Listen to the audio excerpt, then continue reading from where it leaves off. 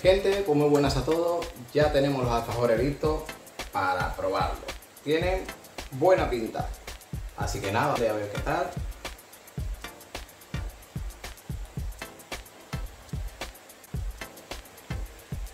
Está estupendo. Espero que lo hagas en casa. Espero que te suscribas a mi canal. Danos un like. Pon un comentario y a ver qué te pareció el video. Voy a seguir comiendo alfajor, así que nada, para ustedes.